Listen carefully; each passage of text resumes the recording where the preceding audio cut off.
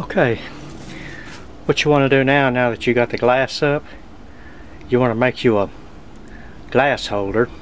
Get you some felt or or something. I made my own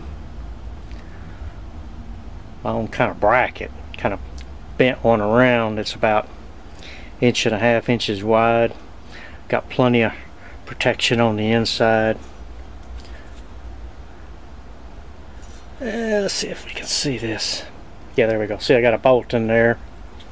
This covers the bolt. It's on a long it's on a long piece of plumber strap. And what we'll do, we will we want to put two of them under there because we'll see we can now that we've got this up we can hook our turnbuckles in here now and then we can adjust this up or down so that we can if this was a if that was a rotted sill we wouldn't have to because we couldn't we couldn't replace the sill with all these shims underneath the glass so we've got to get those shims out. So that's what this is for. And uh,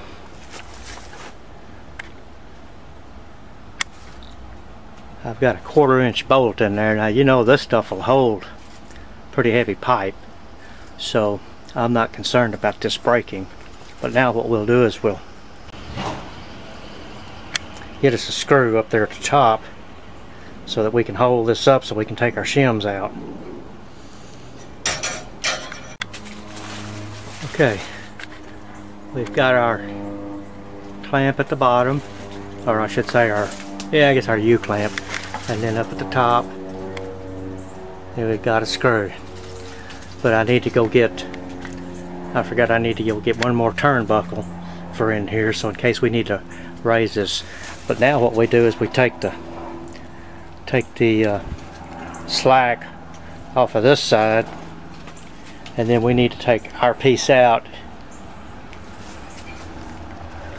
See we need to take this piece out and put a taller piece in there because we had already replaced the sill and I guess I should have shown you that but we'll do that I've got one more on the other side we're going to do so I'll I'll do that when we get around to it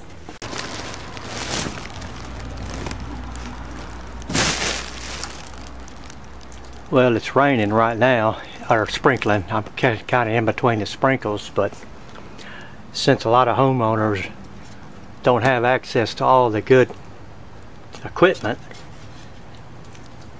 take and run your bead of silicone on the glass, put your stop on there, squash it in there so that the silicone squashes out very well. Put some nails in there, let it set overnight, and that'll hold the window in place because you've already got the height. We've already got the height established of what we need to do there. So, but I'm gonna put the camera down and put some nails in there. Okay, this uh, silicone has set up last night. So we know this glass is not going to slide down. I mean it, it, will slide down over the years. It's going to take several years. But in any case I've got the new piece cut for here it made up the difference we took out that little shallow piece now we put the bigger one in because we, now we've got the window all the way up and okay we've got our trim all the way around the window. We got our one section, you know, the one with the U-clamp on it. We've got it off. We've got this one side pulled off the window. We just need to take this last one off.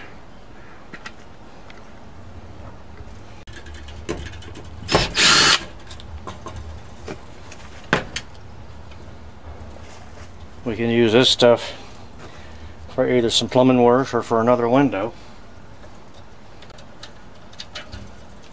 Got our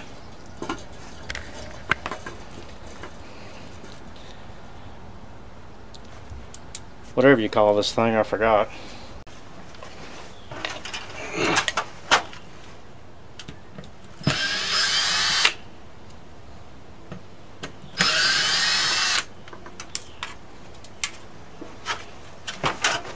Alright, now down here on the bottom, you can see we've got a little bit of space on this side, not much. On the other side, we're pretty much sitting on the lumber, so that's good. I got to put my last screw in in this sill.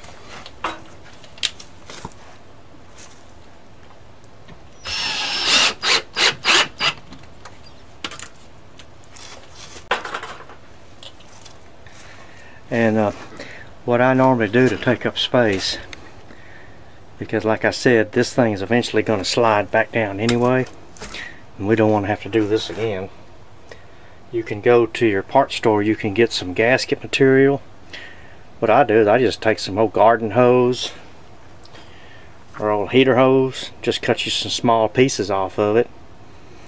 And you can use them underneath. A pair of scissors will cut this stuff. Heater hose is a little bit thicker. And the nice thing about it it's it's constantly under pressure being around so once you slide it under there it's not coming out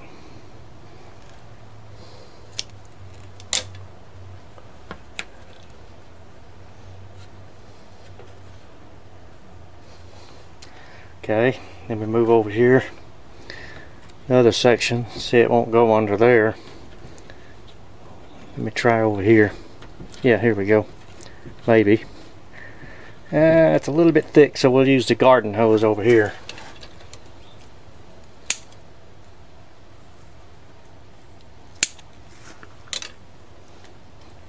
Okay, got half our garden hose. Now don't use the old garden hose. Yeah, there we go. Okay. Okay, we got that under there. Now you want to get wherever there's a space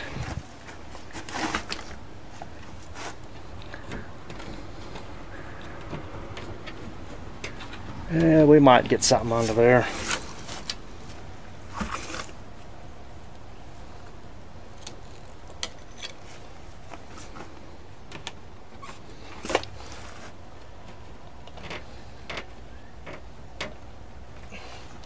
yeah we're gonna get something under there so okay well that's good.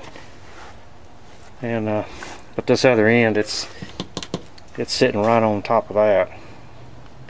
So we're good to go. Now one thing I will say now that they've come out with all these new caulkings and stuff use a really good caulking against the glass and your seal.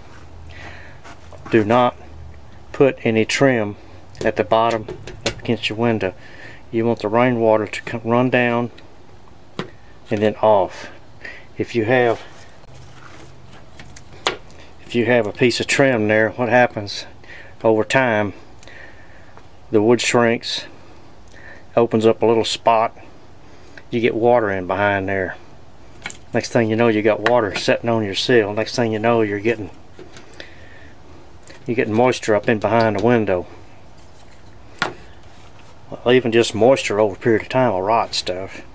So the best thing to do is just run your real good bead of caulking across the bottom. And it's best to use a good oil base. Polyethylene or polyurethane. Not, not polyurethane, but urethane caulking.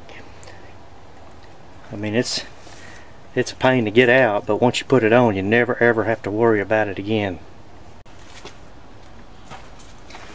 Any y'all ever wonder ever wondered about this battery powered caulk gun? This is definitely the cat's meow. This thing is great, especially with this oil-based caulk.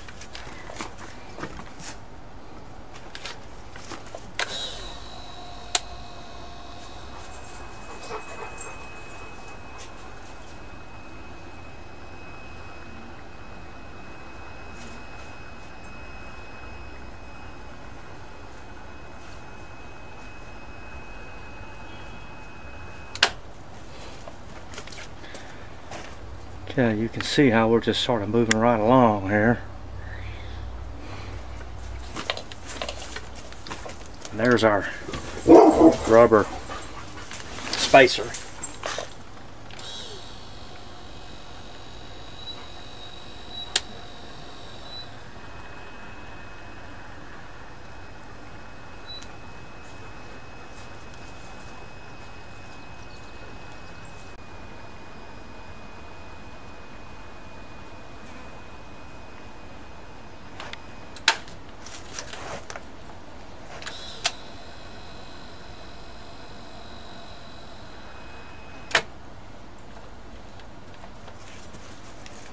What I'm going to do is I'm going to pull this back out and put a piece of insulated glass in here.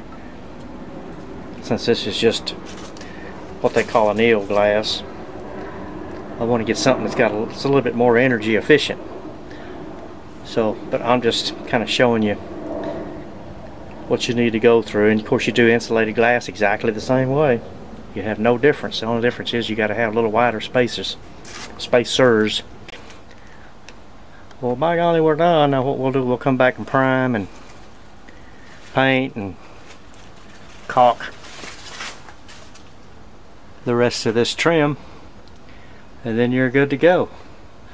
Let's see, with just this bead of caulk right there, your rainwater's gonna run down, jump over it, and just come off. Nothing to get in behind there and trap it. Okay, now we put our our blocks to kind of push this glass in place.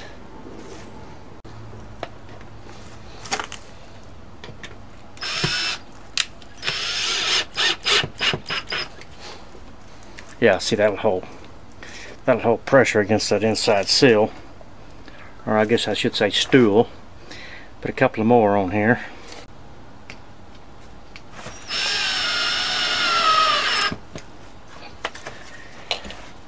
And we'll the other end.